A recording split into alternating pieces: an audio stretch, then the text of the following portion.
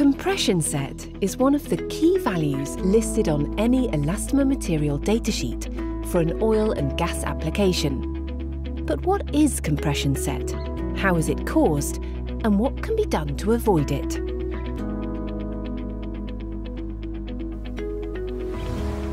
Compression set is the amount of deformation that has occurred, quantified as a percentage loss in shape compared to the original dimensions.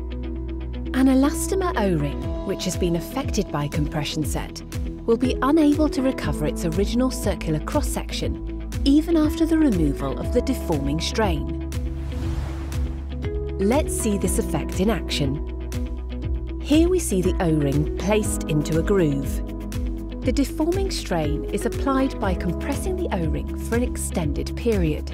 The deforming strain is removed from the O-ring but we can see from the cross-section that the O-ring has taken a set.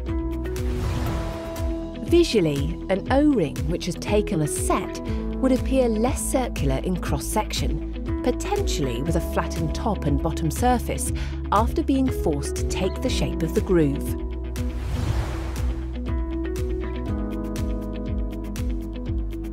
Compression set is a laboratory test measuring the amount of recovery in an elastomer after compressive force is removed. The ASTM D395 and ISO 815 industry standards define how this compression set is measured. The test method involves the application of a 25% deflection, compressing the sample to 25% of its original size to button specimens secured in a jig apparatus. This force is applied for a given time at a set temperature.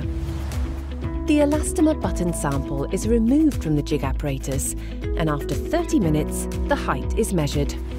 After the measurements have been taken, we use this formula to calculate compression set.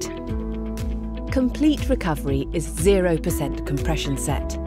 100% would show that the sample had not recovered at all. The lower the compression set value, the more recovery, the better the result. Let's have a look at a worked example.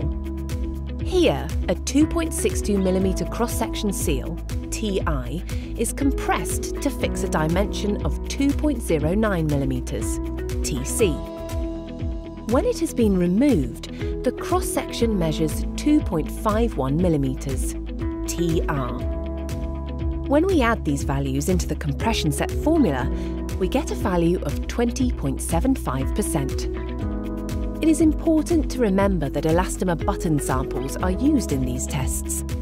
Repeating the test with the same material but in an O-ring profile will likely produce different values for compression set. But why does compression set matter? Compression set provides an indication of how long a seal can be expected to perform. If the compression set in a material is high, the seal is likely to flatten sooner, exerting a lower sealing force. In time, this could lead to leakage through the seal. Conversely, a seal made from a low compression set material is considered more resilient, delivering better sealing performance for longer. Compression set has two major contributing factors. Degradation of the polymer network and physical deformation. Physical deformation is due to the viscoelastic nature of elastomer materials and is reversible. Polymer degradation, on the other hand, whether chemical or thermal, is permanent. Looking at a molecular level, we can see the crosslinks in the elastomer how these crosslinks behave dictates whether eventual recovery of the elastomer is possible. Let's first look at permanent compression set. In permanent compression set, the elastomer sample is compressed under heat and media to the point where cross-link bonds can break and reform in the compressed state, or completely new crosslinks can form. This is unrecoverable compression set, leading to permanent reduced sealing force and sealing efficiency. There is also cold set compression set, where elastomeric recovery is possible. With cold set, when the elastomer is compressed, the polymer chains and crosslinks slide and move past each other rather than breaking and reforming. If the temperature is too cold, the energy required for the molecules to move back to their original shape isn't there, and the elastomer will freeze in a cold set. If and when the temperature rises again, heat energy is returned to the system and the molecules are now able to reform, making elastomer recovery possible.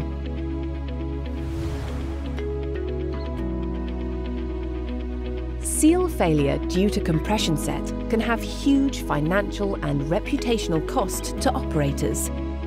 To avoid compression set, making the correct choice of elastomer sealing material is crucial.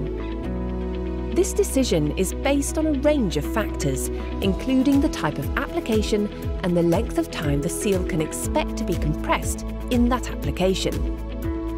Then there are environmental variables, including the temperatures the seals will encounter, the impact of any chemical media around the seal, and the pressures involved in the application.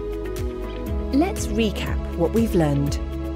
The compression set of a material is the permanent deformation remaining after removal of a force that was applied to it. Compression set is measured by the amount of recovery in an elastomeric sample following the removal of a strain under a given time and set temperature. We measure compression set to learn how an elastomeric material will react and recover under strain. This predictive data guides the correct material choice for seals across all kinds of critical oil and gas applications. You can discover more about this topic with our video on compression stress relaxation.